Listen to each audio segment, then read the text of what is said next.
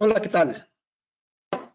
Bienvenidos a una transmisión para Villa de Cortés desde Culser, México. Gracias por conectarte. Vamos a dar pequeñas, eh, vamos a decir, las reglas del juego en lo que esperamos a que más colegas se conecten. Primera regla, todos los comentarios los puedes hacer a partir, si estás conectado por GoToWebinar, de la sección de preguntas y respuestas. Si nos estás viendo a través de las diferentes eh, plataformas como Facebook, en sus diferentes eh, comunidades, todos tus comentarios los estaremos leyendo a través de la sección de comentarios. Te pedimos que si estás en Facebook, no olvides darle like y comparte si crees que esta información es de mucha importancia. Vamos a empezar con esta pequeña presentación. Es una, un webinar o una mesa clínica pequeña de cómo hacer carillas en el sector anterior con Carisma Topaz. Doctor, ¿podríamos mandar unos saludos? Ok. Tum, tum, tum. Vamos a mandar saludos a la gente que nos está viendo en Facebook. Muchísimas gracias a todos los que están etiquetando. Y saludamos especialmente a Bingo Ru que dice buenos días, a Salvadora Sanza que manda saludos, a Enimaram Dentistry que dice buenos días, Erendira Soto, saludos colegas, y a todos los demás que están etiquetando a sus amigos. Recuerden darle activar a las notificaciones en el depósito vía de Cortés en Facebook para que les avise cuando, cuando tengan videos en vivo. Muchísimas gracias. Muchísimas gracias. Eh, gracias a todo el equipo que hace posible todo esto. Gracias a todos los que están en Villa apoyándonos y a todo el equipo de soporte de Culser. Empezamos. Bueno, el objetivo de esta práctica es conocer ver confeccionar una carilla estratificada con técnica multicromática. Aquí hay dos cosas importantes. Hay dos formas de hacer carillas eh, de forma directa o varias formas de hacer carilla de, forma directa. Tenemos eh, hoy en día como de moda hacerlas a través de la técnica de inyección. A mí en lo particular las dos técnicas me gustan, sin embargo me inclino más por las estratificadas. ¿Y por qué llamamos estratificadas? Porque como podrán ver vamos a poder poner diferentes tonos para lograr una estética más elevada. Entonces, lo que vamos a hacer ahorita es carillas estratificadas multicromáticas en el sector anterior.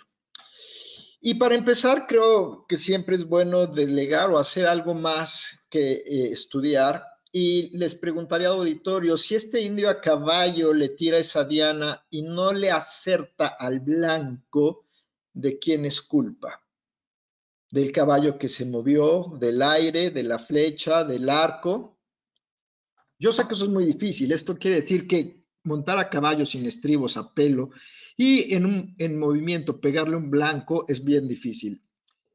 ¿Qué quiero decir con esto? Que hacer una crella perfecta es bien difícil. Hay muchos factores que tenemos que tener en cuenta para lograr la perfección en nuestros tratamientos, pero sin embargo, si esa crella no queda perfecta, la culpa no es de la resina, la culpa no es del silicón, la culpa no es de Culser, la culpa no es de Villa, la culpa es de uno. Y como muestra un botón, aquí tenemos una carilla que lo hicimos en la técnica de estratificado y si pueden ver el bondisisal quedó, quedó ligeramente gris. Eso quiere decir que me pasé de translúcido. Entonces vamos a dar las técnicas y los tips para que no te pase eso. Vamos a ver un poco de la introducción Indicaciones, composición de la resina, porque vital para que esto sea perfecto debes utilizar una resina de muy alta calidad. Vamos a ver la composición de la resina y algunos casos clínicos para terminar con una pequeña eh, mesa clínica de hacerlo en este momento en estratificación. Aquí voy a hacer un pequeño paréntesis, voy a cambiar de cámaras porque para lograr hacer la eh, carilla, vamos a decirlo, necesitamos partir de un modelo o de un eh, evento o de un, vamos a decir, cómo llega nuestro paciente al consultorio. Entonces, en teoría mi paciente va a llegar hacia el consultorio con una fractura del diente 11, que es más del tercio medio. Y lo primero que tendremos que hacer es hacer una guía de silicón. Y entonces lo que voy a hacer ahorita es la guía de silicón porque tarda unos minutos en polimerizar el silicón y no quiero perder tiempo en lo que esperamos que polimerice. Lo primero que tengo que hacer es tomar silicón y aquí ven varios consejos. Fíjense, esto está sobrepasado. Hay unas personas que aplican silicón en contra del, del, contenedor y lo sacan así. Eso sigue estando sobrepasado. La medida tiene que ser exacta, entonces, con una cuchara, con una espátula, mitad corto arrastrando, mitad corto arrastrando, de manera que queda la medida al ras. Esta es la medida indicada por el fabricante, o sea, por Culser. Tomamos el silicón, lo apachurramos en la palma de la mano y la misma cuchara es la misma medida. Y dejamos el, la cuchara como medida de mi cantidad de silicón. Y esta cuchara nos dice el fabricante que tengo que cruzarla dos veces con mi activador. Solo en este caso y para este caso voy a poner cuatro porque no es para boca y quiero que se haga más rápido. Pero la dosificación exacta es una medida de la cuchara por dos líneas de activador.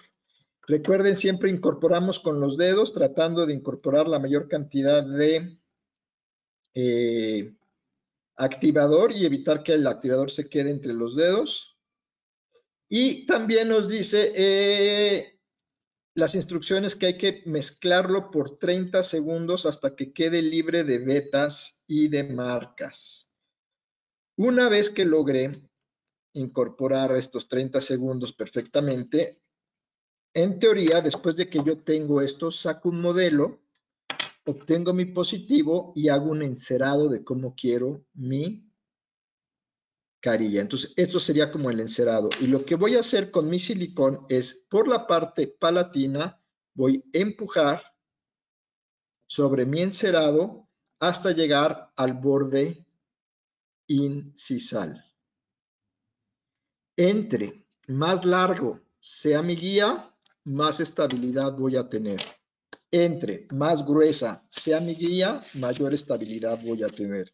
Entonces, les eh, recomiendo hacer guías grandes, gruesas, para que tengan estabilidad, sobre todo si vamos a hacer varias carillas. ¿Ok? Entonces, continuamos con la presentación. Vamos a dejar que el silicón polimerice. En cuanto a estética, se ha hablado muchísimo y hay muchos, vamos a decirlo, lineamientos estéticos algunas personas les gustan más blancos los dientes, algunos más, eh, vamos a decirlo, viejos o con un envejecimiento fisiológico. Hay personas que le gustan los dientes blancos refrigerador. En estética podemos decir mucho. Entonces, aquí la primera recomendación es, en tu historia clínica, pregúntale bien a tu paciente cuáles son las expectativas que tiene, que tiene él al respecto de este eh, tratamiento. Posteriormente vamos a ver las indicaciones. Las indicaciones son amalogénesis imperfecta, fluorosis, pigmentación por tetraciclinas, envejecimiento fisiológico, obscurecimiento por traumatismo o por otros medios, cierre de diastemas, incremento de la longitud, forma atípica, microdoncias, dientes indientes, transformación de dientes por ausencia abrasión, atrición, erosión, dientes rotados, alteración de alguna angulación, daños o traumatismos, como es el caso de la práctica que vamos a hacer, guías de desoclusión y recuperación por una fractura, reparación cerámica por cerámica fracturada.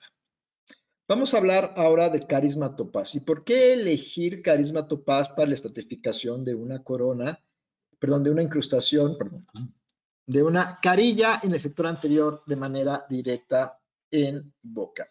Bueno, lo más importante de la línea de carisma es que, si mal no recuerdan, la composición de una de, una, de un composite tiene que ver con varios factores.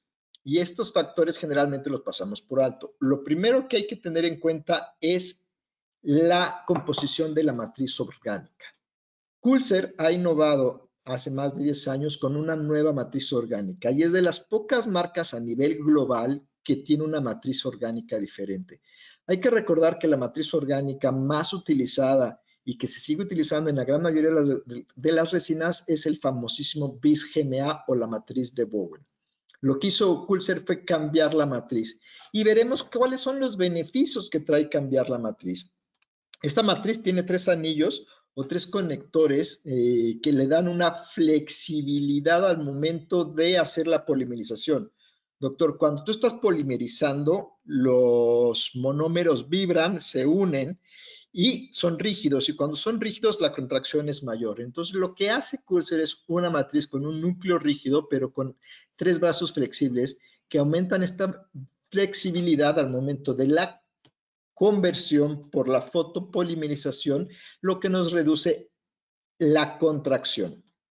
Dicho en otras palabras, esta resina se contrae mucho menos que todas las resinas del mercado. ¿Y eso qué tiene que ver? Preguntarás, pues eso es lo más importante ya que el principal factor que crea el desajuste marginal de nuestras restauraciones es el estrés de la restauración en el ángulo, lo que causa microfracturas. Por lo tanto, esto creará que la resina que tú hiciste a la larga tenga microfracturas y fracase. Hoy en día los estudios comprueban que cuando la mayoría de las restauraciones hechas a nivel global el 80% de ellas, de las restauraciones hechas a nivel global, son por fracasos en una restauración anterior de resina. Por esto precisamente, porque se contrae demasiado la resina, hay microficación y hay caries secundaria. Otro de los factores más importantes para que tengamos este bajo nivel de contracción es la cantidad de relleno que tiene la resina. Culser tiene una de las resinas con mayor cantidad de relleno, 59% del volumen total de la resina es relleno, eso es altísimo. Por lo tanto, entre más relleno tiene, es más dura. Vamos a decirlo de otra manera, puedes ponerle acero, Puedes ponerle circonio adentro de la resina, pero tienes tres perlitas de acero de circonio, la resina no va a ser resistente porque va a tener demasiada resina, demasiado bisgma. Necesitas combinarlo con el relleno. Recuerden que el relleno es el que te da la dureza, te da el pulido y te da translucidez. Entonces, entre mayor relleno tenga, voy a tener mayor dureza, mayor translucidez y mejor pulido. Y si eso lo incorporo en una buena matriz, voy a tener una mejor resina. Y lo tercero es el tamaño de la partícula. Entre más fina es la partícula, también nos va a dar mayor estética. Voy a, voy a poder pulirlo mejor. Entonces, si es muy, ah, el relleno es muy nanométrico, muy pequeño, perdemos fuerza y no vamos a tener fuerza para soportar cargas oclusales masticatorias. Si tenemos un relleno muy fino, muy grueso adelante, perdemos pulido. Entonces debe haber una mezcla entre micro relleno y nano relleno para que pueda soportar cargas masticatorias y tener alta fuerza a la flexión o alta resistencia a la flexión y un buen pulido y estabilidad cromática en el sector anterior. Esto se logra con el tipo de relleno. Y el tipo de relleno es vidrio, dióxido de aluminio y bario. Recuerda que el bario es eh, radiopaco, por lo tanto, las resinas te mejora tu diagnóstico tener resinas radiopacas. Entonces tenemos vidrios de aluminio que son altamente translúcidos, óxidos prepolimerizados altamente dispersos, nanoparticulados microhíbridos en tamaños de partícula entre 5 micrones y 5 nanómetros que nos dan la combinación exacta para tener una resina de alta gama, de altas prestaciones en tu consultorio para poder hacer este tipo de restauraciones con predictibilidad clínica a largo plazo. ¿Ok? Entonces recuerden, ya no estamos utilizando BIS-GMA ni tampoco UDMA ni nada de eso, estamos utilizando eh, BIS-GMA, perdón, que es lo que les decía, no estamos utilizando BISGMA, ahora estamos utilizando la MATCD. ¿Y qué es lo que pasa o por qué se dejó de utilizar BISGMA? BISGMA, si ustedes ubican la miel, hagan de cuenta que BISGMA tiene la consistencia de miel fría o congelada. Si ustedes tratan de incorporarle un relleno o azúcar o algo a la miel fría o congelada, es prácticamente imposible. Por lo tanto, le tuvieron que poner un diluyente. Este diluyente se llama Tegma. Y hay otros diluyentes como Barejma, Tegma y muchos más. Pero el diluyente hace que el bis GMA se contraiga. La gran diferencia de estas resinas es que al incorporar este triciclodecano, que es una matriz orgánica nueva con los perlas o con los rellenos de vidrio y aluminio y bario prepolimerizados altamente dispersos, logras mejores cadenas, logras una mejor tasa de conversión y logras una menor contracción. ¿Ok? Bueno, es un poco de la información que, les quería decir a grandes rasgos. Esto es lo que les quería compartir acerca de la calidad de las resinas Pulser. ¿Ok? Y que recuerden por qué se da esto. Aquí, error en mi presentación, aquí no avanzó mi video. Porque los videos, los, ah, los, la resina siempre se va a contraer hacia el centro, dejando estrés en las paredes de la resina y que teniendo una resina con menor estrés es mejor y menor el riesgo de que sufra daños con el tiempo. La otra cosa que les decía es que este tipo de relleno nos permite un mejor intercambio de luz, una mejor polimerización y un mejor desempeño clínico.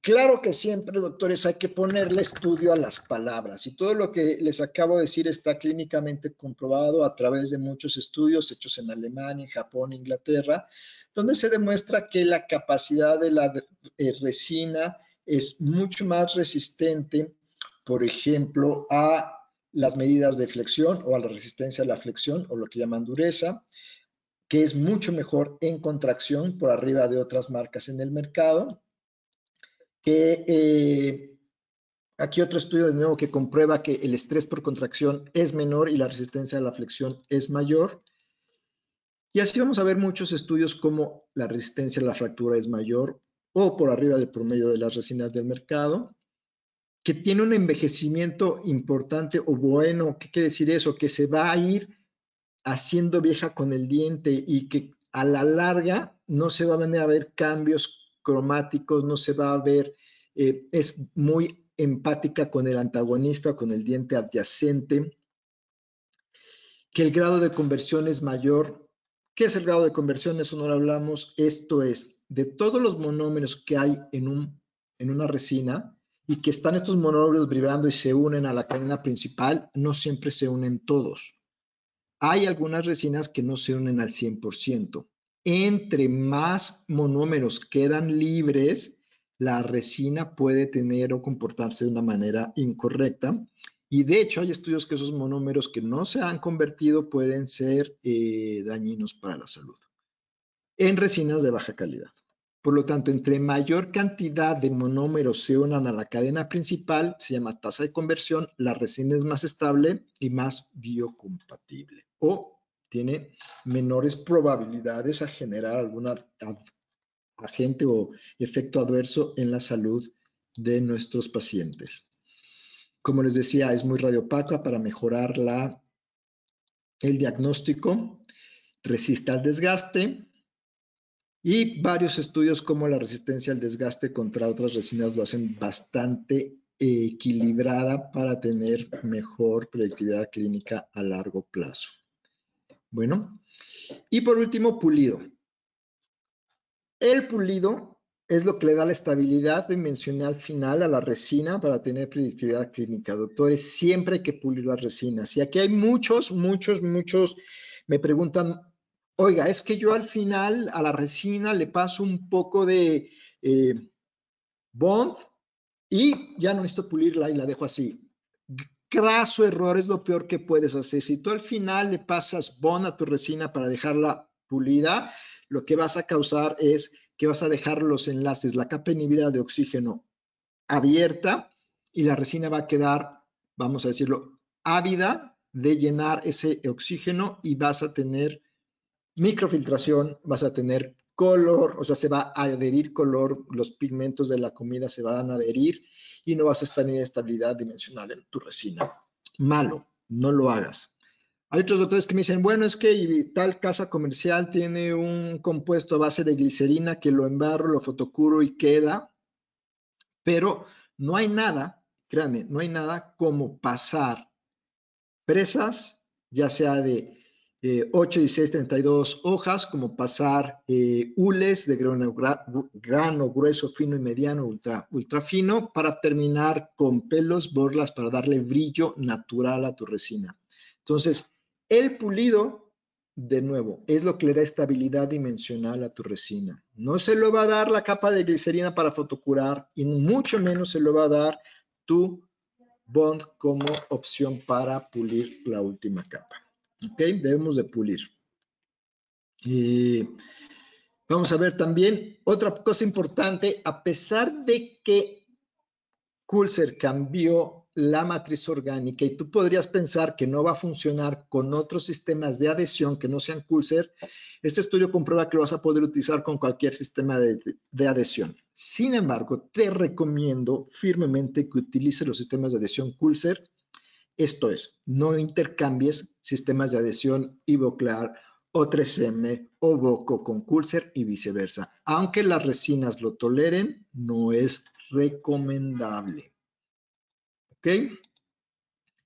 Y esto es lo que les decía, estabilidad de color, que con el tiempo las personas que toman mucho café o vino, las resinas tienden a pigmentarse. Si tú, tienes un buen pulida y una buena eh, relleno, la capacidad o la posibilidad de que eh, resista el color es mayor y por lo tanto vas a tener estabilidad cromática de tu resina. Entonces, como has visto, tengo estabilidad física, pulido, estabilidad cromática, fuerza, resistencia, flexibilidad, baja contracción, alta tasa de conversión, lo que hace una resina de muy alta gama para ser utilizado en el sector anterior. Bueno, como dijimos, hay que tener los estudios que lo comprueban y dejo los datos finales. Esta es como la foto que vale la pena. Vean la capacidad, la resistencia a la flexión que tiene esta resina, 145 megapascales de resistencia a la flexión. Les doy un dato. Hay una norma oficial internacional que se llama la ISO 4049. ¿Ok? Se ve ahí, ISO 4049. ¿Ok? La ISO 4049 dice que para una resina poder ser considerada como una resina para poder ser utilizada en el sector posterior y anterior, o sea, una, resina dual o, o que puede ser utilizada en el sector posterior y anterior, debe tener una resistencia mayor a 80 megapascales a la flexión. Si puedes ver, algunas de las resinas de Coulser llegan a casi el doble, 170 megapascales. Pregunta a tu eh, Vendedor, ¿qué resistencia tiene la flexión? ¿Qué resistencia o fuerza tiene? Y sobre todo, ¿qué contracción?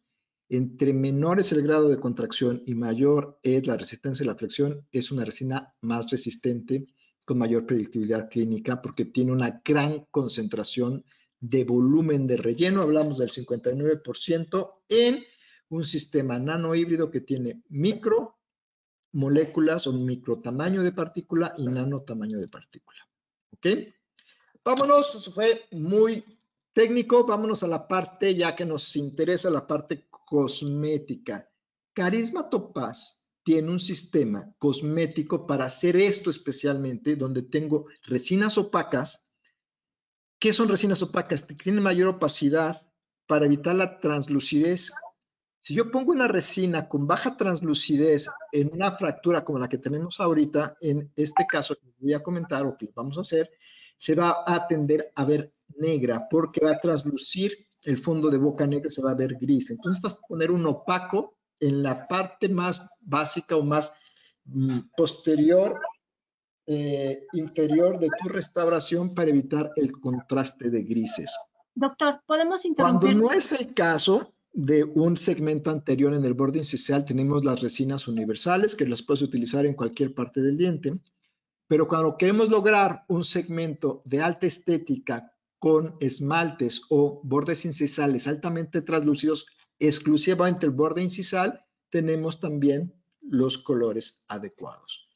Dicho de otra manera, tengo, perdón, me fue una. Dentinas opacas, uno, para evitar la translucidez, o dos, enmascarar eh, dentinas escleróticas, cafés, negras, con eh, tatuaje de amalgama o que han sufrido grave daño eh, por caries, que tenemos la dentina muy oscura. Nosotros queremos enmascarar esa dentina muy oscura, necesitamos tonos opacos. Dos, tonos universales que todo el mundo utiliza. Utilizamos el colorímetro de Vitra. Y tres, los tonos incisales para dar una mayor efecto estético en el borde incisal. Y la cuarta gran ventaja de esta resina, en cuanto a los colores se refiere, tenemos tonos bleach. Si eres de los que les gusta hacer blanqueamiento, tus pacientes te piden blanqueamiento, verás que a veces el A1 no te da y que necesitas algo más blanco que A1 o B1. Entonces tenemos el tono BL, que se llama bleach, que es un tono extra blanco para pacientes que, les has hecho o que vienen a tu consulta con blanqueamientos previos. ¿Ok?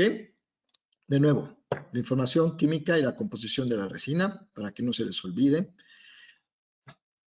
Todo esto al final no sirve de nada, doctores, si no tienes un buen adhesivo. De adhesivos no voy a hablar mucho, es muy rápido, solo le, te recomiendo que estés en la octava generación, que se llaman adhesivos universales.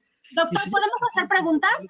Vas a poder utilizar en autograbado, grabado selectivo y grabado eh, total perdón, grabado selectivo, autograbado y grabado total, que es a base de agua, que tiene una gran cantidad de potencial de hidrógeno, o sea, es muy ácido, que nos permite hacer autoadhesión y que eso nos va a ayudar en algunos aspectos para hacer la clínica más rápida. ¿Cuál es el beneficio de los adhesivos de octava generación? Ah, tengo una llamada del sistema, dígame. Doctores, vamos a hacer preguntas. Eh, primero vamos a mandar unos saludos ahorita que ya este, mm, nos está escuchando el doctor. La primera pregunta que, este, que les necesitamos hacer es, por lo tanto, no sé si te pudieras regresar a la, diapositiva en donde muestras las, diferentes resinas de Culser. Nos está preguntando el doctor Aldo Alonso González Lara que si entonces de las tres la mejor es la Diamond. Doctor Lara, en efecto, la mejor es la Diamond. ¿Cuál es la diferencia entre Diamond y Topaz? Uno, la resina Diamond tiene mayor contenido, si ves, de partículas de relleno, lo que la hace más resistente. Sin embargo, para algunos clínicos que utilizan la 3M, la 3M es una resina muy fluida que se escurre mucho. Cuando tú utilizas Diamond, la sientes muy dura de un inicio. Entonces, lo que sacó Culser es una resina topaz que tiene menor cantidad de relleno, obviamente es menos resistente, no tiene tan buenas propiedades, pero se comporta más como la resina 3M, es más fluidita. A mí en lo particular, cuando cambié de marca de resina, sí me pasó lo mismo, la sentía muy dura. Hoy te puedo decir que hace poco intenté utilizar una resina de otra marca y me pareció demasiado escurridiza. Slurpy, le dicen los gringos, o sea, se escurre. La resina Diamond es más resistente, pero más consistente y a algunas personas no les gusta. Por eso recomiendo Topaz porque tiene una buena, buen equilibrio, buena resistencia, buenas propiedades y menos durita. Nos está Perdón, así. También con respecto a la fluorescencia, la doctora Lili Valdés. Fluorescencia, lo vamos a ver adelante. La, la resina tiene fluorescencia. Y vamos a ver fotos donde se demuestra la fluorescencia. Gracias, doctor. ¿Alguna otra pregunta? No, tenemos este saludos. La doctora Patti Campero manda saludos, así como Yolanda García desde Emiliano Zapata en Hidalgo. Este, también Ariel Serrano dice que buenos días a todos los colegas. Tenemos también este otros saludos. No, ya, hasta ahí. Da gracias, doctor. Gracias, perdón, tenía apagado el micro porque el video me hizo estragos. Bueno, vamos a seguir. Adhesivos, octava generación, rápido. ¿Por qué octava generación? Porque lo puedo utilizar con cualquier material. Lo puedo utilizar en cualquier técnica. ¿Y por qué lo puedo utilizar? Apréndanse este chart, doctores, y hay que, hay que poner un poco de ciencia y hay que entender. Tiene un monómero ácido que nos va a permitir una mejor hibridación. ¿Y por qué va a permitir una mejor hibridación? Porque tiene el solvente a base de acetona, que es más hidrofílico. ¿Qué quiere decir eso? Anteriormente teníamos etanol como solvente, no es tan hidrofílico, no, no penetraba tanto y la capa de hibridación es menor. Cambiamos el solvente, pero sobre todo se le añadió MDP. MDP son ácidos fosfóricos que permiten la adhesión de este tipo de adhesivos universales a no solo diente, sino también a otros materiales que vamos a ver a continuación. Entonces, cuando digo diente, es dentina, esmalte y cemento, y que clínicamente comprobado vas a poder estar perfectamente adherido independientemente de la técnica de adhesión que utilices a dentina y esmalte, comparado con otras marcas comerciales y cuando lo utilizas con un primer, lo puedes utilizar incluso para, vamos, perdón, voy dos segundos, dentina y diente normal, como lo has utilizado siempre, Nuevo, metales no preciosos, metales preciosos, circonio y cualquier composite de laboratorio. Eso es lo que hace universal. Y por medio de un primer, lo vas a poder utilizar en cerámicas de sílice, o los que le llaman cerámicas de vidrio, lo que es disilicato de litio, sin necesidad del uso de un ácido lo que nos permite hacer reparaciones en boca. Entonces, realmente son, son adhesivos muy versátiles, de gran, eh, vamos a decirlo, uso en el consultorio. Ya no está tener un adhesivo para metal y otro para cerámica y otro para tal. Es un adhesivo que te va a dar todo, metales, metales no preciosos, metales preciosos, composite, circonia y cerámicas de vidrio con el uso de un primer sin utilizar ácido. La verdad es que utilícenlo, lo recomiendo mucho.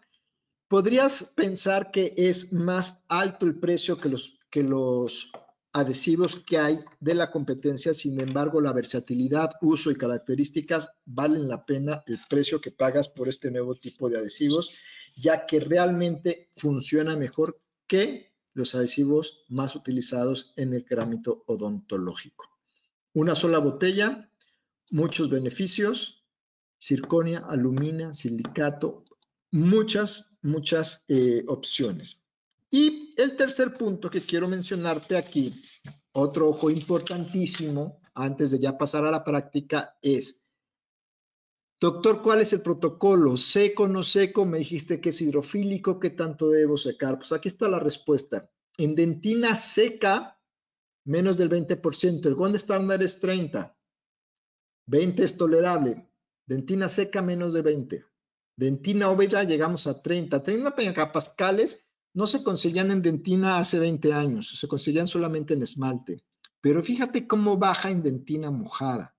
Es muy importante que eh, la dentina esté húmeda, no mojada. Otra parte importante, si se te contamina, antes de aplicar el adhesivo, inicia de nuevo. Porque si se te contamina una vez aplicado el adhesivo y fotocurado, es lo peor que te puede pasar vuelve a secar, vuelve a poner tu adhesivo y empieza desde cero. ¿Por qué bajas a menos de 10? Menos de 10 es una adhesión deficiente, vas a tener pérdida de esa restauración. ¿Ok? Entonces, dentina húmeda y evita la contaminación. Por lo tanto, siempre debemos utilizar dique de goma, aislamiento total.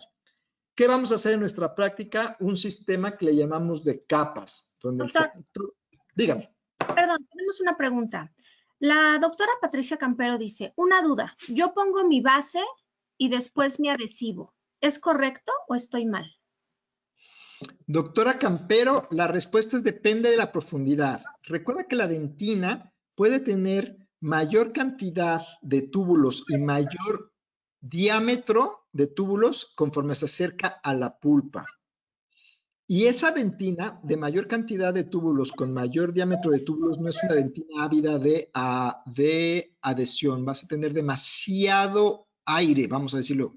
Recuerda que el cemento o el adhesivo se pega a, las, a la colágena de la dentina. Entonces, cuando la dentina está muy permeable porque está muy profunda, sí es necesario poner una base, pero solo en dentinas profundas, doctores. Si tenemos dentinas intermedias y dentinas superficiales, no pongan base porque estamos alterando la adhesión. Ok, doctora Campero, ¿qué tipo de base? Aquí hay dos corrientes a nivel mundial.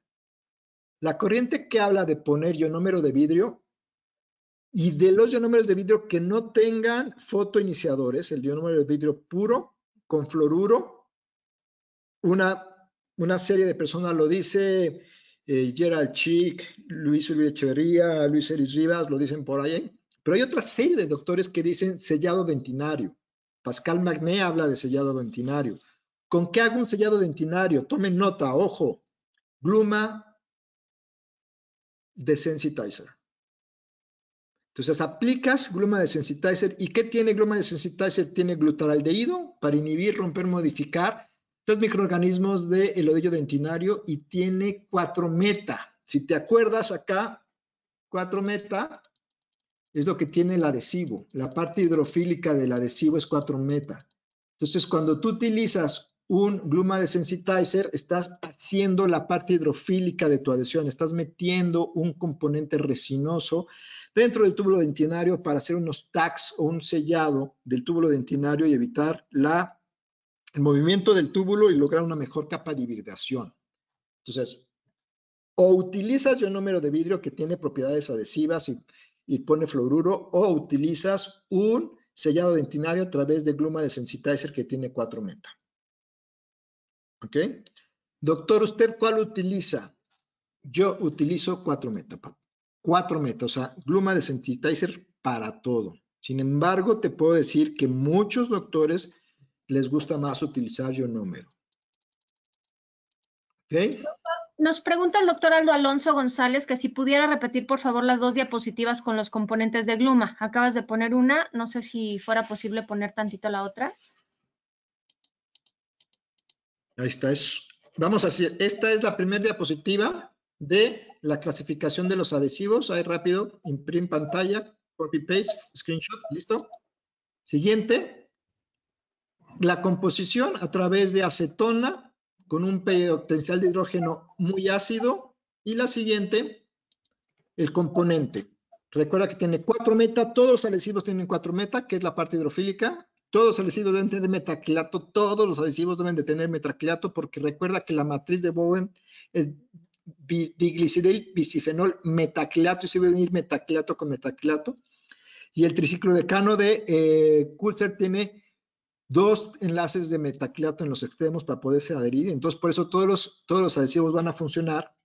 La diferencia es qué tanto 4-meta y qué es el vehículo. Y este es acetona, que es hidrofílico y que previene la evaporación del agua, porque vimos que cuando se evapora el agua baja tu proporción de adhesión.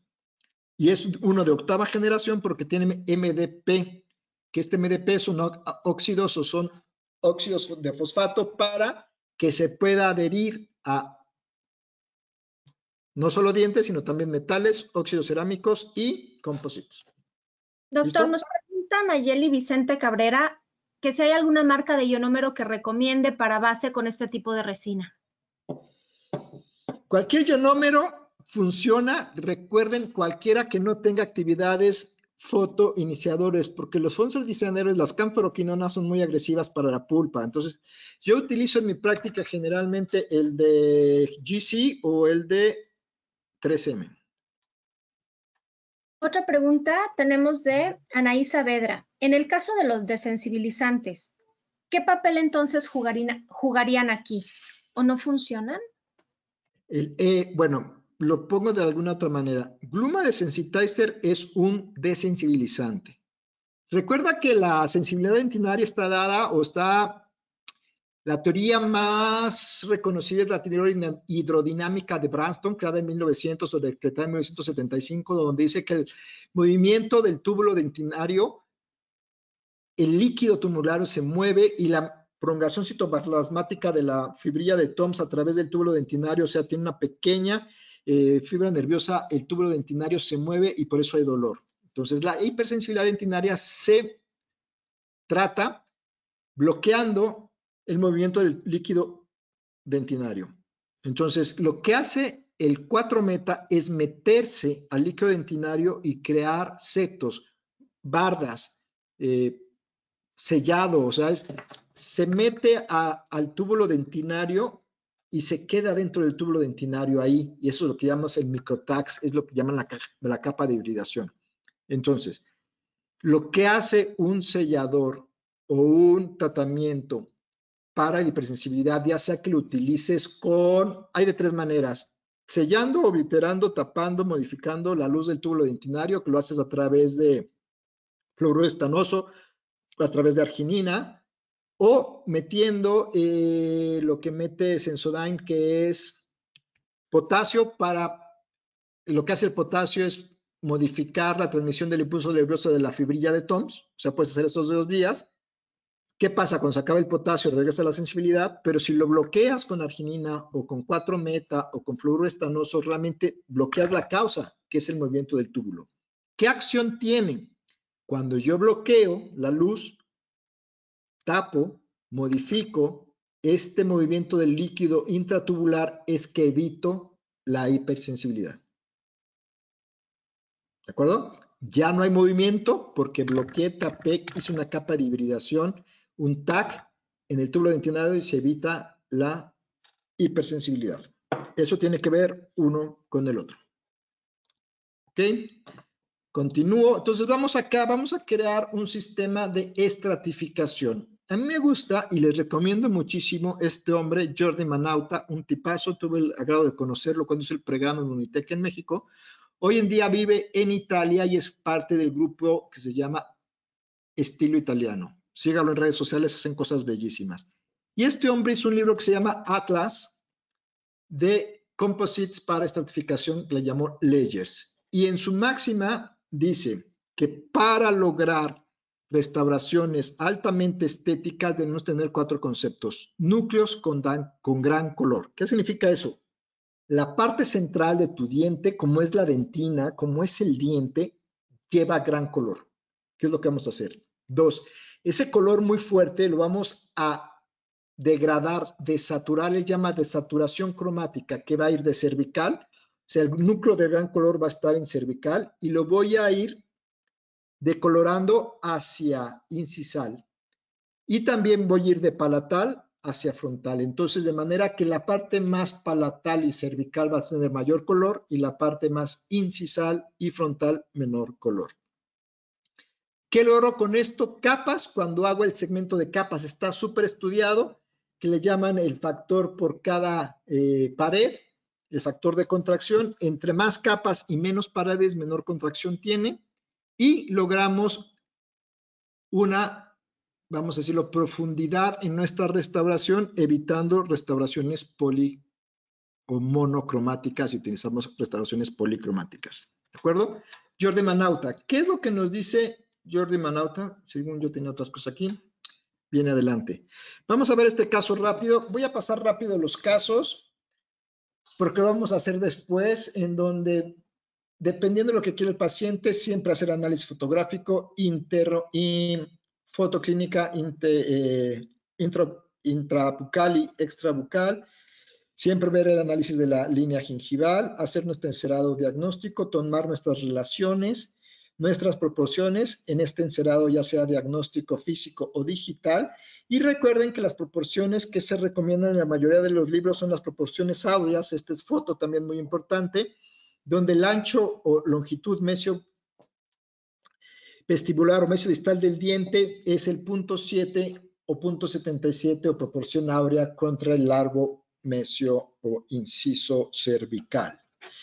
Eh, a veces utilizamos mock-ups y lo importante es, primero, hago un pequeño tallado del diente y aquí vamos a hacer dos cosas. Dependiendo de lo que quiera lograr va a ser el tallado. En este caso fue un, pequeño tallado para evitar la línea de transición entre el diente y la restauración. Aplicamos el adhesivo y empezamos a hacer nuestra, nuestra estratificación. Siempre la estratificación la empezamos en cervical y la seguimos hasta incisal para terminar con los bordes incisales de nuestra restauración. Fotocuramos y empezamos el pulido y damos la macro y micro textura, los lóbulos, perinquimatos y toda la microtextura para terminar con un caso así. ¿Ok? Como pulo, les dije hules, fresas, pelos, pelo de cabra, pelo de Marta y al último borlas. ¿Ok? Va de nuevo. Presas, 8, 16 y 72 filos. O hules, grano grueso, grano mediano, grano fino. Y después de los hules, borlas, perdón, pelos. Pelo de cabra, pelo de Marta. Siempre con pastas para pulir. Y al final, borla. Borla seca, borla. Darle, eh, le llamamos manta a los dientes. Y aquí está la pregunta de la fluorescencia. La resina tiene bastante fluorescencia, es muy estética, igual que tiene opalescencia y translucidez. ¿Ok? Comparación del segmento inicial y del segmento final. Bueno, ya hemos hecho nuestra guía de silicón. Recuerden, lóbulos lateral, central y medio y perinquimatos. Hay que ver la forma del diente, si es cuadrada, triangular, hay que seguir la anatomía.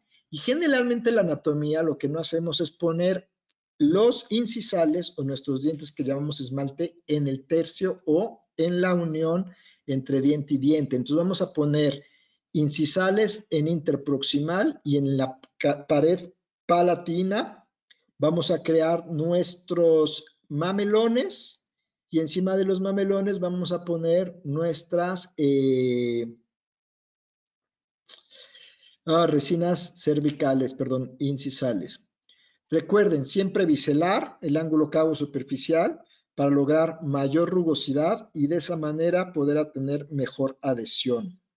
Después de la preparación viene la guía de silicón, donde ponemos primero en el sector posterior mi, mi resina translúcida, si ven se ve grisácea, está transluciendo el negro, y encima del gris van nuestros opacos y nuestros dientes, perdón, nuestras uh, resinas de dentina o universales. ¿Okay? Aquí hay varios casos. Puede ser de un solo diente o de todos los dientes. Están las guías de silicona ahí.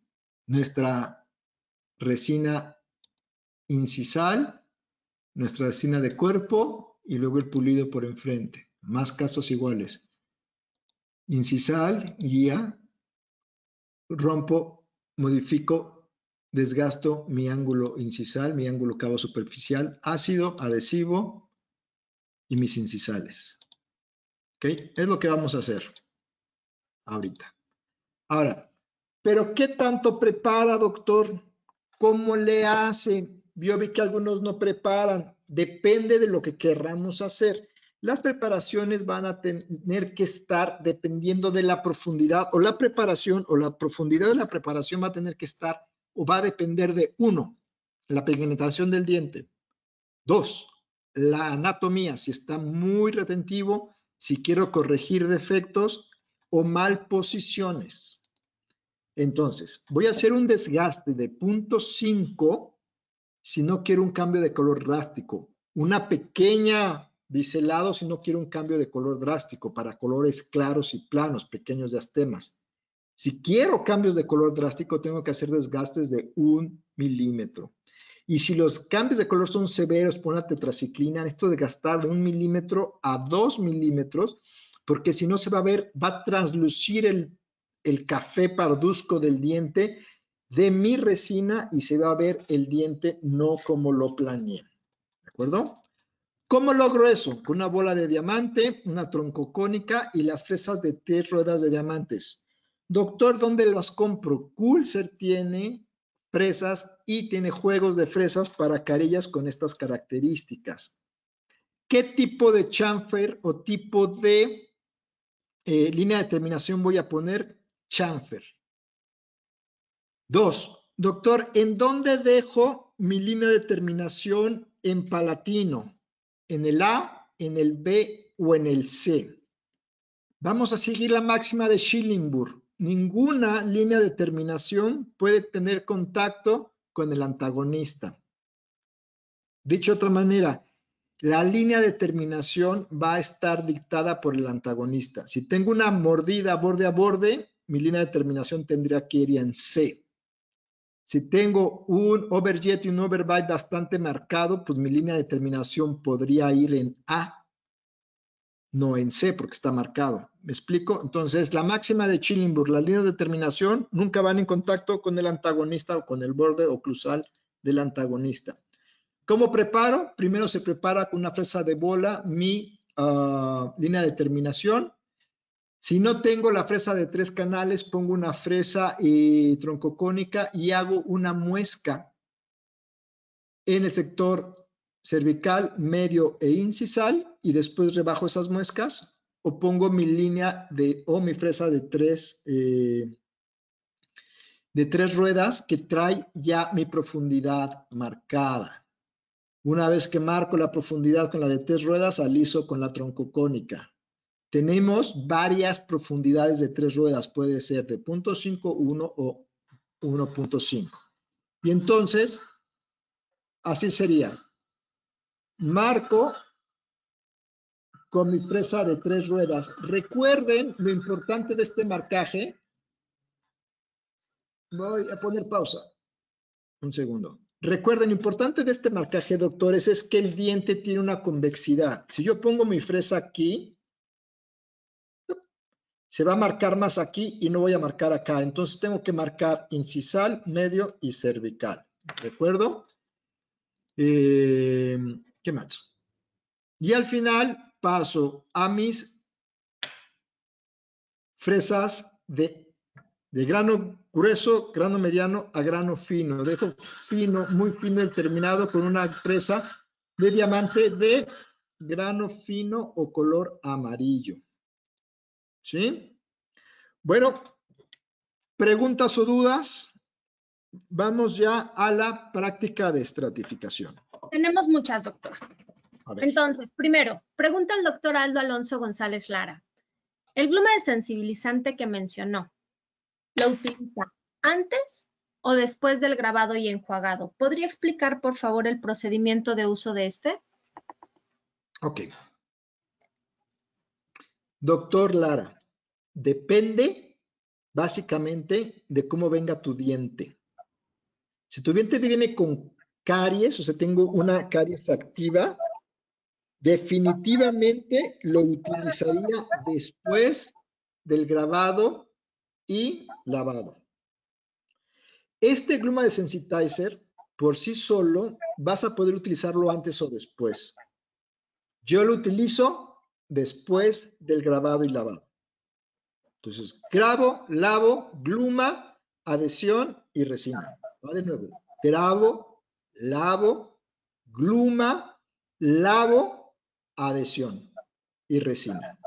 Si vieron, hay dos lavados, después del grabado y después del gluma. ¿Ok? Otra pregunta. Nayeli Vicente Cabrera pregunta, si mi paciente es bruxista y tiene desgaste en incisal, ¿esta resina es recomendable? Doctora Cabrera, ninguna resina va a ser para ese diente. Te voy a explicar por qué. Si es bruxista y ya ese paciente no le quitas el, el hábito parafuncional del bruxismo, le pongas lo que le pongas, se lo va a reventar. Lo único que podría soportar un bruxista es una eh, restauración de circonio. Ahora, ¿qué podrías hacer si no te quiere pagar restauraciones de circonio? Podrías, y esto es una recomendación del doctor Antonio Bello Roche, le pones una guarda. La resina por sí sola no te va a aguantar un bruxista, la vas a tener que proteger con una guarda. Y ninguna resina, ¿eh, doctora? Ninguna resina te va a aguantar un bruxista. Siguiente pregunta. Doctor, ¿cuál es el proceso de colocación del gluma de sensitizer? Lili Valdés pregunta si se fotocura. Eh, Lili, te lo digo ahorita, para cualquier duda de cómo se aplican los productos, les recomiendo utilizar, entrar, ver la página de Culser Info, ahí viene toda esta información. El proceso de aplicación del gluma de sensitizer es aíslo, preferentemente y mandatoriamente aislamiento total con dique de goma, no vale Optradam de Ivoclar, no valen retractores. Aislamiento total. Eh, yo sigo las recomendaciones del doctor Roberto Espinosa en su libro de, de resinas, pongo y lavo con hipoclorito de sodio al 10% por un minuto, después de lavado de hipoclorito de sodio al 10% por un minuto, seco, pero de nuevo a que quede dentina húmeda. ¿Cómo es eso? A chorro de aire o a succión o a alta succión, hasta que la dentina se vea húmeda sin charco de agua. Aplico frotando por 30 segundos el área en cuestión, ya sea ah, la cavidad clase 5, lo que estamos haciendo, 30 segundos de aplicaciones es bien importante, porque es el tiempo que tarda en penetrar el 4 meta al túbulo dentinario y hacer el septo, la coagulación de la proteína del túbulo dentinario. Lo que hace el 4 meta es coagular, hacer un septo. Entonces necesito que pasen 30 segundos.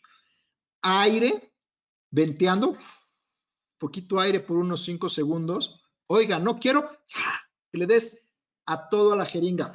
No, venteadito. A que se, se evapore el resto del... y lavo con mucha agua. Siguiente. Muchas gracias, doctor. Recuerden, por favor, que todas las personas que están conectadas en GoToWebinar van a recibir el día de mañana por mail tanto el link de esta página, eh, de esta plática para que puedan este, ver el video nuevamente, como un certificado de asistencia.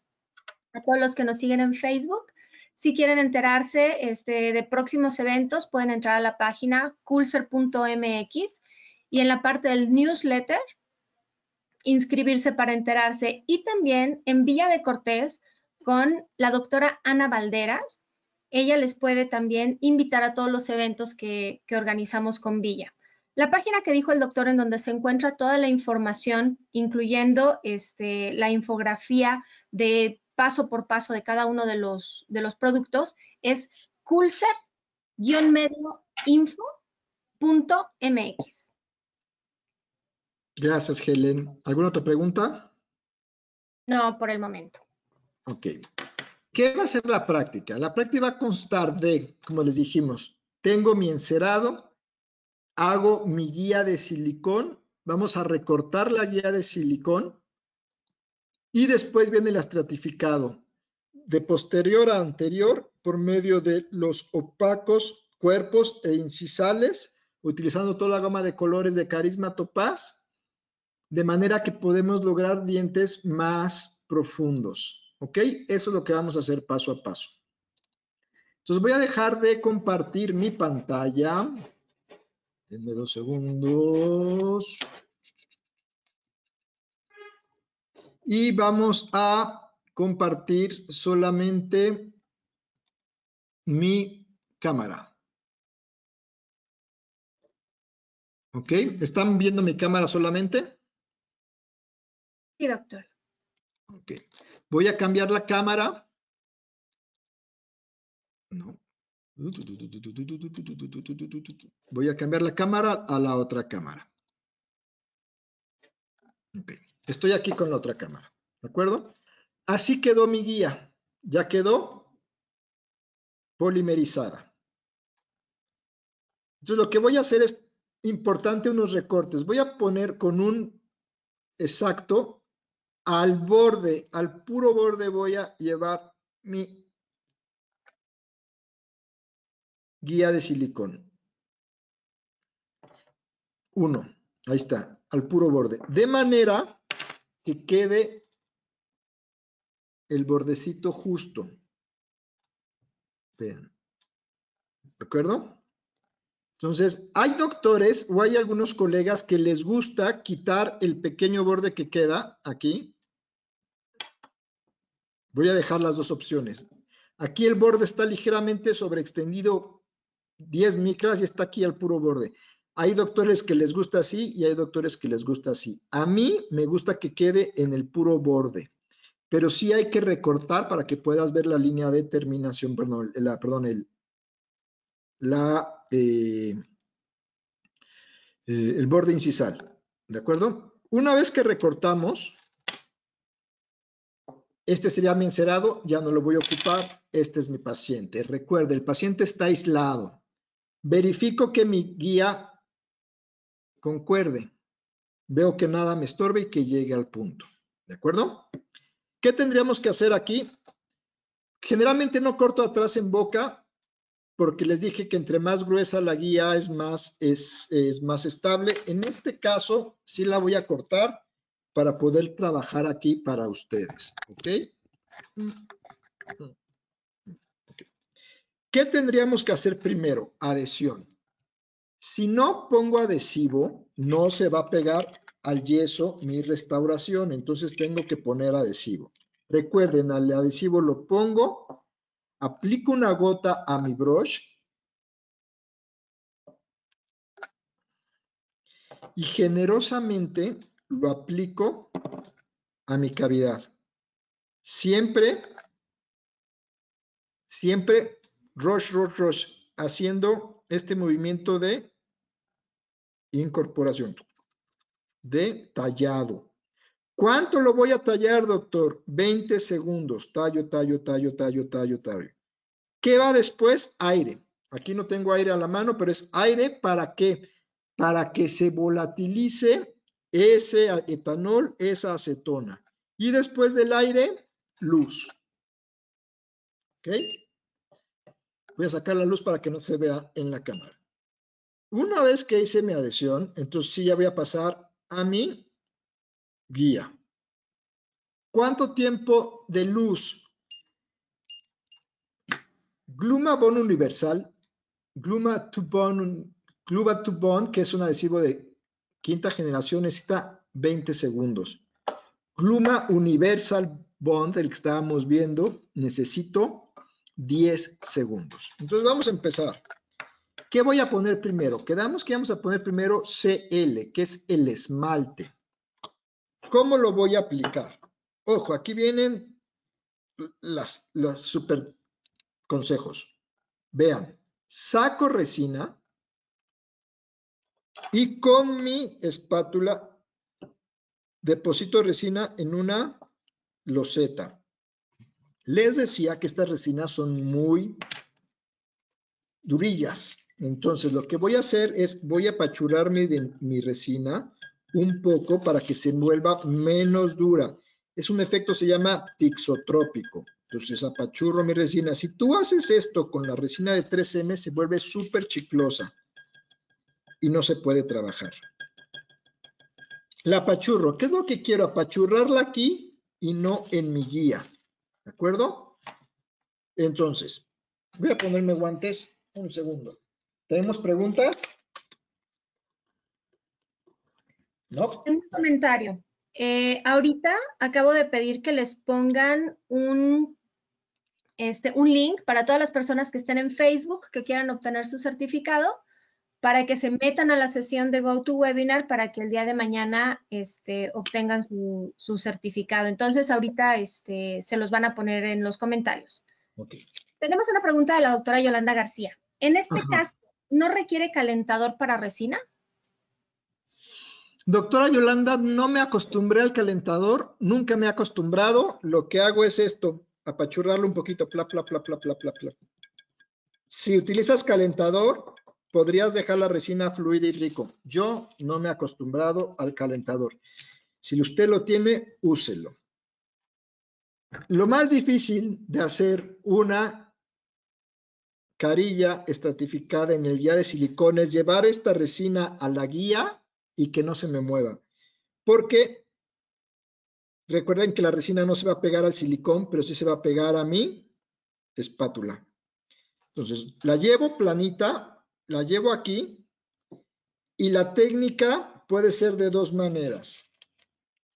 Utilizas algún tipo de resina modeladora o todos los materiales, todos, todos los materiales de todos nuestros aplicadores como tengo mi capa inhibida de oxígeno, se va a quedar pegada a la resina, independientemente si es nitro de titanio, si es y si es lo que sea.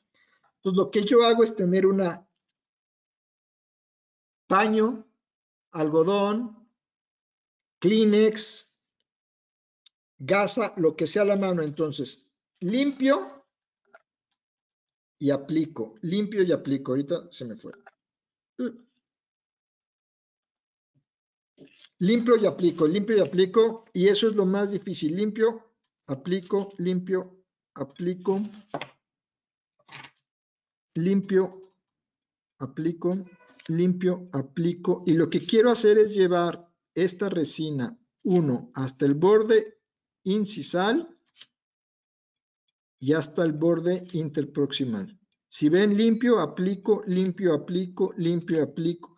Y de esa manera no necesito comprar instrumentos mega especiales, ni poder modeladores, ni poner nada. Simplemente limpiar y aplicar, limpiar y aplicar, limpiar y aplicar constantemente. ¿Ok? Una vez que logré una capa uniforme de resina de color translúcido, que es mi esmalte, bien colocada en toda la matriz, entonces si llevo la matriz a boca, posición en boca, veo que no haya espacios, que llega donde tiene que llegar y fotocuro. Fotocuro por los segundos que diga la resina, y yo te les digo cuántos son, son 20 segundos. Por efectos de la práctica, a partir de hoy, y solamente por hoy, le voy a dar 10 a todas las capas, porque si no nos vamos a tardar mucho en la fotocurada. Utilicen y vean cuánta cantidad de luz requiere. Esta que utilicé, 20 segundos. Siguiendo las instrucciones de Jordi Manauta, en el libro de Layers, ahora voy a utilizar mi opaco y va a ir hasta atrás y hasta abajo el opaco, ¿ok? Eh, el opaco dice 40 segundos y lo debes de poner 40 segundos. Yo no lo voy a poner 40 segundos por los tiempos de televisión, ¿ok? ¿Quedó claro, doctores? Miren cómo la resina está dura. Y conforme yo la manipulo, se vuelve tisotrópica, se vuelve más fluida. Aquí les voy a enseñar en esta práctica de la mitad para acá, no voy a poner opaco, de la mitad para acá sí voy a poner opaco para que vean cuál es el efecto del opaco en mi restauración. ¿De acuerdo? Si no pones opaco, tu restauración va a quedar muy translúcida, se va a ver obscura al final. Entonces, muy importante poner opaco. Recuerden, el opaco, según Jordi Manauta, va hasta abajo para crear un gran núcleo de color, de saturación cromática, de palatino hacia incisal. Entonces, hago un gran bloque. Recuerden que grandes bloques conllevan grandes riesgos porque entre más es la cantidad de resina y más es el opaco, es menos su fotopolimerización. Entonces, en este momento dejo, fíjense aquí, un espacio del opaco aquí para que yo pueda meter mi eh, cervical, mi, tono medio o mi tono eh, um, de dentina, mi tono universal. Lo que estoy haciendo es poniendo opaco hasta abajo del lado izquierdo, pero quitándolo y llevando mi opaco más arriba del lado derecho, para que vean la diferencia cromática cuando no pongo opaco versus cuando pongo un buen opaco. Y lo llevo hasta arriba. De un lado tengo opaco, del otro no. En el fondo de mi cavidad, eh, ahí sí puse opacos parejo. ¿Ok? Y le doy, en teoría le debería de dar 40 segundos de luz, le voy a dar solamente 10 segunditos por tiempos en la tele. Y se le debe dar luz por adelante y por atrás. O sea, quito mi, mi matriz y le doy luz por atrás. ¿Ok? Es muy importante darle luz. Perdón, doctor, tenemos una pregunta. ¿Sí? Pregunta la doctora Nayeli Vicente si recomiendas hacer un diseño de sonrisa en aplicación directa con esta resina o lo consideras muy cansado para el paciente. Como lo mencionaste anteriormente, ¿sería mejor combinarlo con circonia? No entiendo su pregunta. ¿Qué llama con diseño de sonrisa, doctora? Eh, si voy a hacer el sector anterior completo y me voy a extender en carillas a... Entiendo que el diseño de sonrisa es, y eso corríjame doctora, es presentarle al paciente eh, un mock-up por medio de una bisacrílica. No, este, cuando, cuando voy a hacer este tipo de restauraciones directas, no hago un mock-up. Si voy a hacer una restauración indirecta y voy a hacerlo de todo el segmento anterior y quizás si haga un mock-up de resina bisacrílica. ¿Ok? Depende del caso. Generalmente estos casos son para hacerlos en un día y por lo tanto no voy con mock-up. Le enseño el encerado, si el paciente me aprueba el encerado, listo, me sigo. ¿Ok? Una vez que tenemos sin opaco con opaco, vamos a poner mi diente, mi color del diente, el que haya visto el que quiera lograr. Esto es, ¿qué significa el que haya visto el que quiera lograr? Si voy a hacer un, sector completo de carillas, en el sector anterior, pues el, el, diente que yo quiera lograr a uno, a dos, el que sea. Si es solo un diente, como es este caso, tiene que ser conforme a mi toma de color. ¿Están de acuerdo, doctores? Si voy a hacer un solo diente, tomo color. Si voy a hacer varios dientes, el color que quiera lograr. Okay. Tomo mi, mi resina, la pachurro y de nuevo, llevo a boca, fíjense, llevo a boca, la pongo y limpio para estratificar, ¿ok? Obviamente van a estar mucho más resina en el lado izquierdo porque no he puesto tanto. Y voy a empezar a hacer mi microtopografía o mis efectos cosméticos. ¿Cuáles son los efectos cosméticos? Mis mamelones. ¿Ok? ¿Se va viendo? Ya cubrí con, con la base y ahora aplico, limpio. Recuerden, aplico, limpio, aplico, limpio.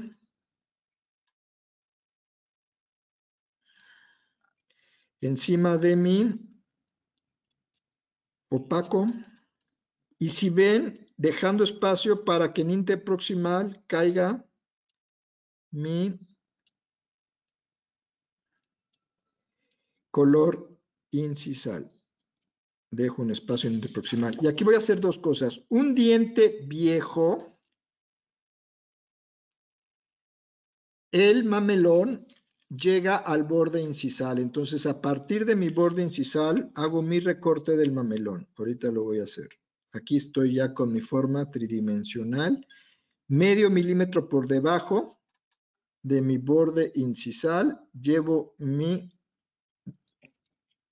dentina de masa y hago mi mamelón.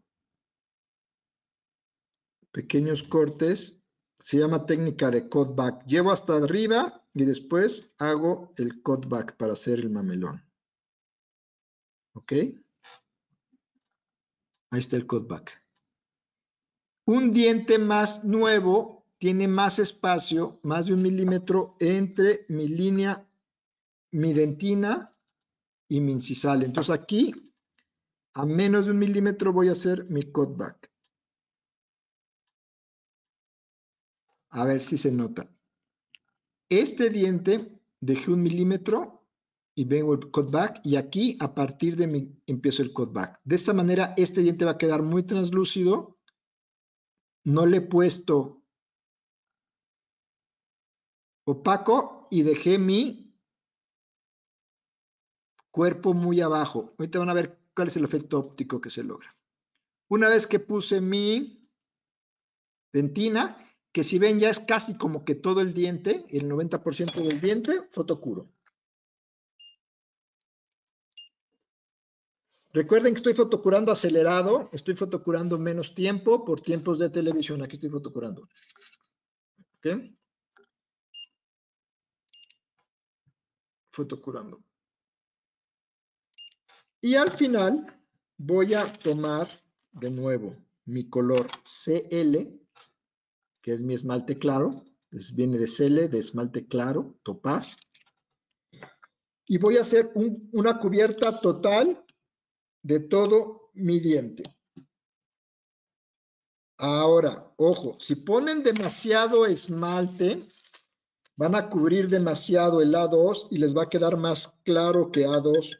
¿Me expliqué? Entonces, este, esta capa de esmalte debe ser extremadamente delgada. Como pueden ver, es translúcida. Uh, no se alcanza a distinguir. Déjenme muevo acá.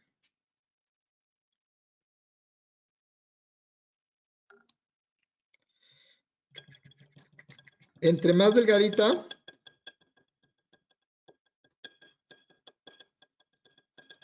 es más translúcida. ¿Se alcanza a ver ahí? Déjenme ver. Ahí, alcanza a cubrir, se ve la línea entre el blanco y el negro. Es muy translúcida.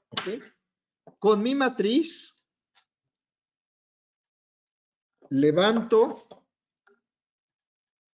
esta capa que hice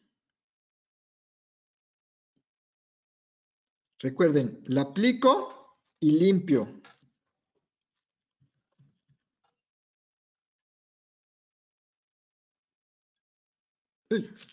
Aplico y limpio. Y quiero ahora sí llevar este color bien marcado interproximal. Recuerden que en el interproximal debemos haber puesto y debe de tener algún tipo de separador. Puede tener eh, teflón, puede tener una banda celuloide, puede tener este, una banda de metal. Doctor, ¿qué utiliza usted? Teflón. A mí me gusta más el teflón, lo pongo muy rápido, me gusta mucho cómo se maneja y rápidamente logro una muy buena aislado, vamos a decirlo, separación del contacto interproximal y como el teflón es muy delgadito me deja un contacto bastante, bastante fino. ¿Me expliqué? Teflón o matrices. ¿Qué utiliza, doctor? Me gusta más el teflón.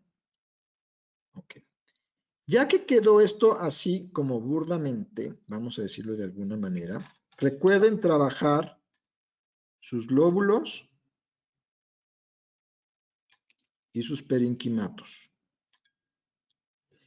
Aquí sí, justo aquí, después de trabajar mis lóbulos y mis perinquimatos, aquí, solamente aquí, en la última capa, puedo recomendarles que compren el Signum Liquid. ¿Qué es eso, doctor? Repita, así lo pides en Villa de Cortés, Signum Liquid. Fíjate, una gotita minúscula de Signum Liquid, bien poquito.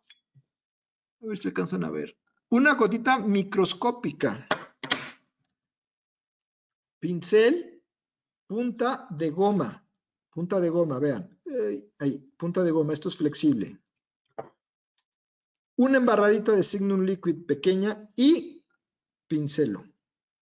Doctores, que yo había tal que utilizaba un pincel de pelo de Marta. Utilícelo, doctora. Si ya lo utiliza, utilícelo. Oye, es que yo vi que uno utilizaba un pincel de pelo de lo que sea utilícelo. A mí me gustan los pinceles de silicón y el líquido modelador. Y de esa manera dejo una superficie súper lisa, padrísima, que me va a evitar pulir tanto tiempo. O sea, el pulido quedamos que se tiene que hacer mandatoriamente. Y solamente esparzo bien y voilà, miren qué bonito quedó. Súper lisito, súper brilloso y eso hay que pulirlo, ¿ok? Con esto terminaríamos. Vamos a hacer una recapitulación rápida, pero, y quiero mostrarles dos cosas más que no se ve físicamente, ¿ok?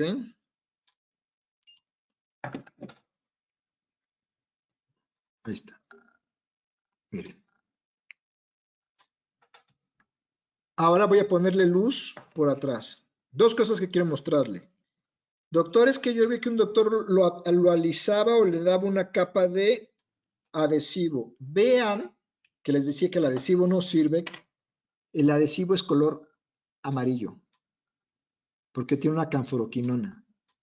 Y cada vez que tú pongas amarillo, si yo le doy amarillo, va a quedar amarilla mi restauración. A diferencia del Signum Liquid, que es transparente. ¿Ok? Entonces vamos a la recapitulación. Encerado. Sobre el encerado, mi guía de silicón. Mi guía de silicón le recorto en el borde incisal. Después hago una pared posterior que voy a poner en la guía, que para eso es la guía, para hacer esta pared posterior de esmalte. Estratifico siguiendo el concepto de Jordi Manauta de desaturación cromática más oscuro abajo y atrás, o sea, cervical palatal, más claro inciso vestibular. Logro o pongo opacos y adelante cuerpos e incisales. Y termino con mi incisal en toda una capa que cubre mi restauración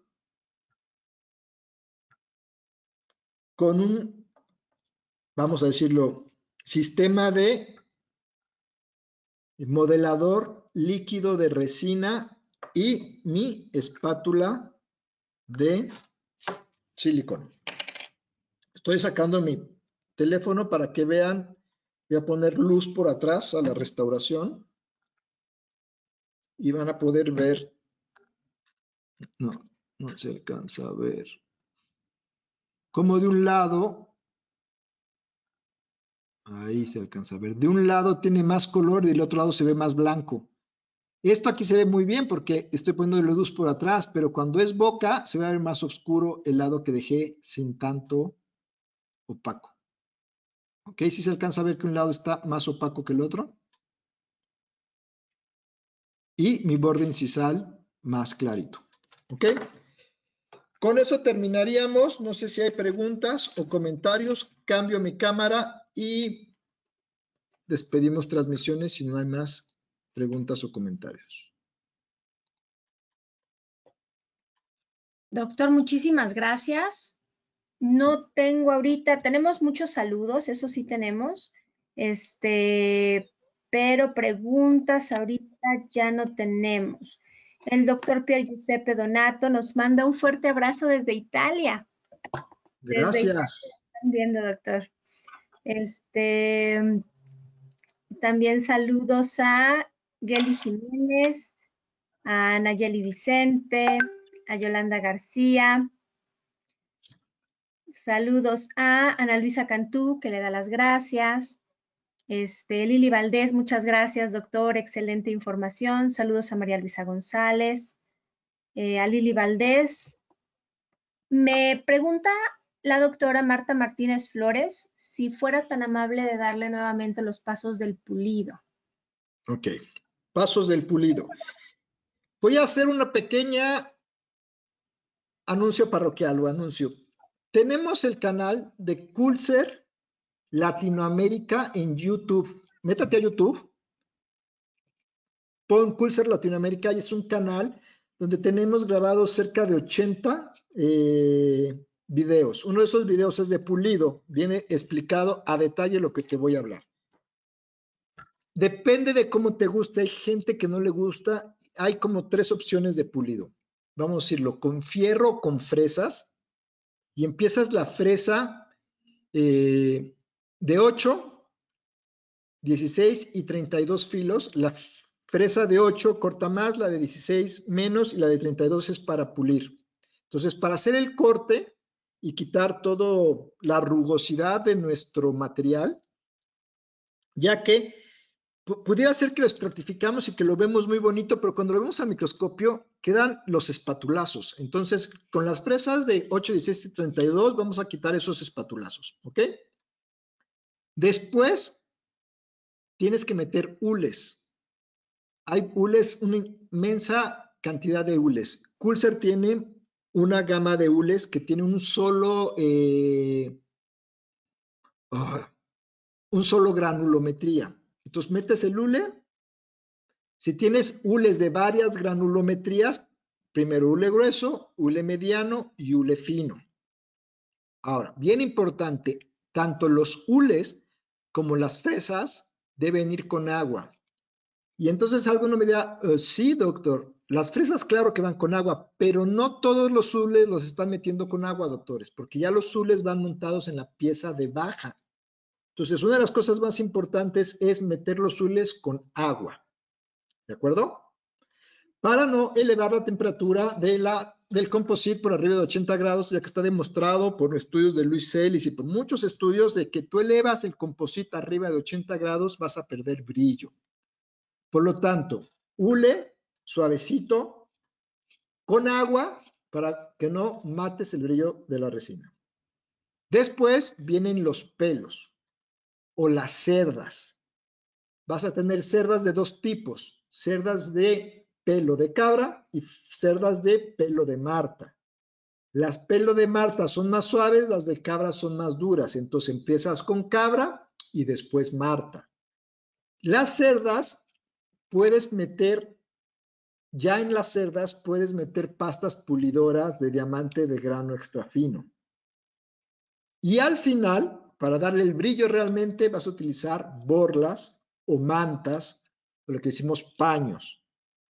Y los paños, borlas, mantas, como le quieras decir, hay de dos tipos. Los paños de, o las borlas de manta, que es de tela, y hay borlas de algodón. De nuevo, tela es más dura, algodón es más suave. Y entonces le das primero a la tela y después al algodón. Estas van en seco, sin nada, pura borla. ¿Ok? Eso sería metales, hules, cerdas y borla al final. Perfecto, doctor. Eh, ya contestamos parcialmente esta pregunta, pero el doctor Ian Martínez dice, buenos días, me gustaría saber qué sistema de pulido nos recomienda. A veces pienso que algunos como Soflex producen mucho calor. ¿Qué recomienda para evitarlo? Ok. Ya lo contestamos parcialmente. Voy de nuevo. Coolser tiene un sistema de pulido de un solo grano que lo encuentro bastante bueno. ¿Ok? Eh, si estás utilizando Soflex, yo creo que el el Standard Gold hoy en día es Soflex, pero efectivamente generas mucho calor. ¿Qué estás haciendo? Estás dando demasiada presión y demasiada velocidad. Entonces, Soflex y todas las cerdas tienes que bajar la velocidad y bajar la presión. ¿Cuál es la técnica que te doy para saber si le estoy dando demasiada presión?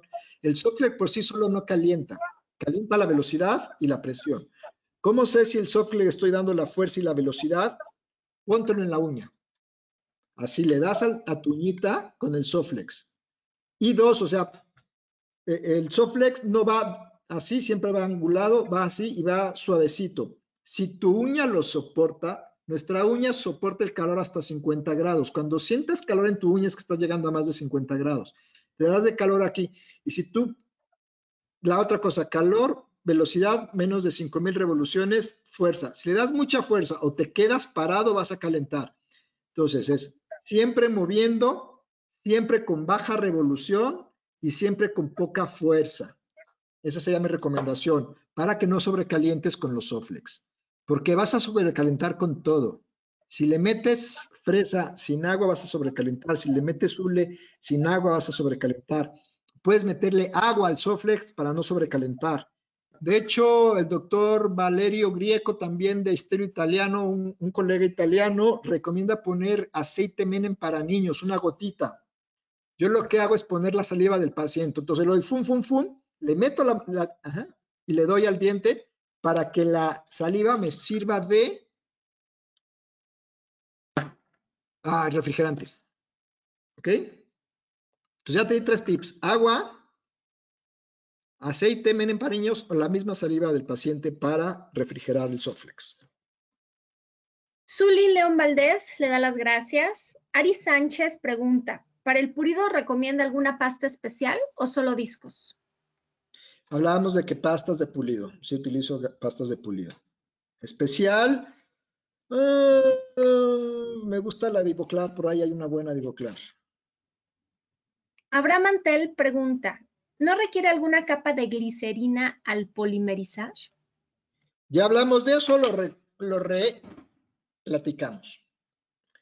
Hay unas casas comerciales que recomiendan la capa de glicerina para fotopolimerizar o eliminar o destruir, modificar, como le quieren decir, la capa inhibida de oxígeno.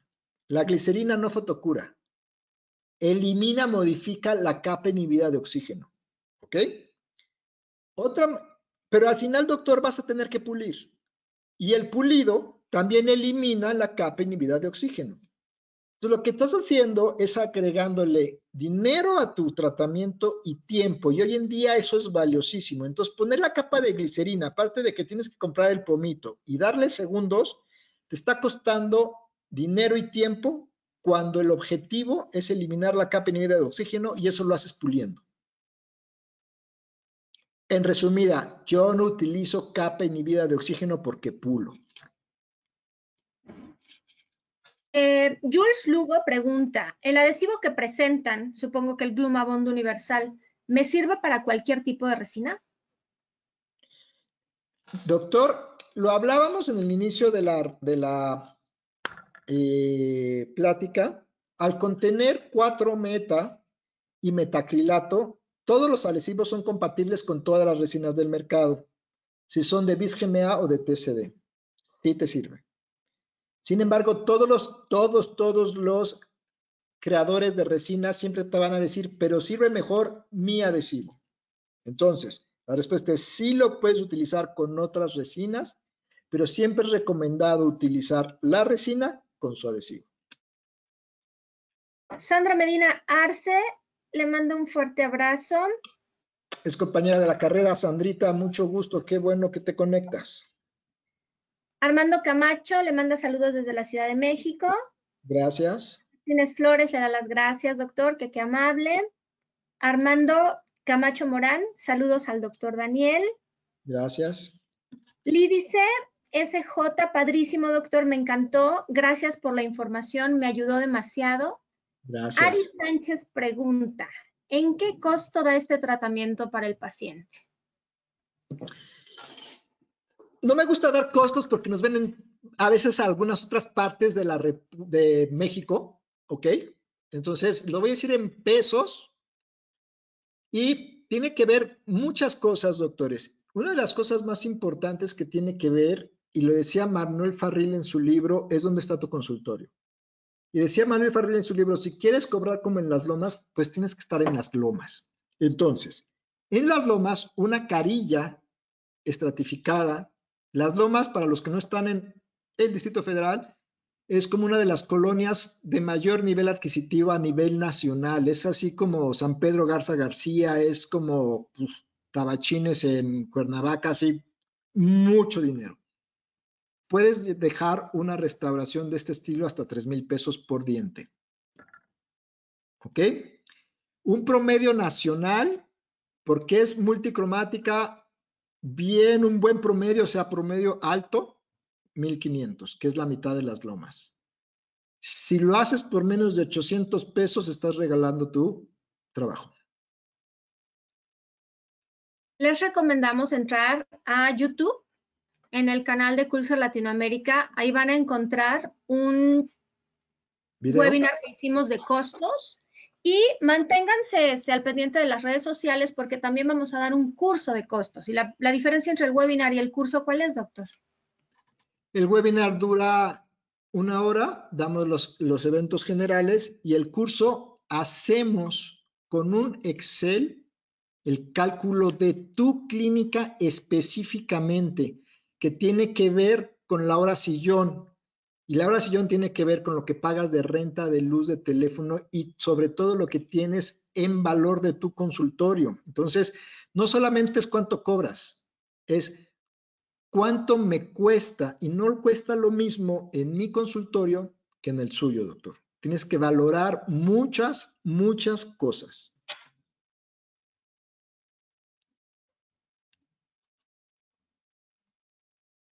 ¿Ok? ¿Alguno más?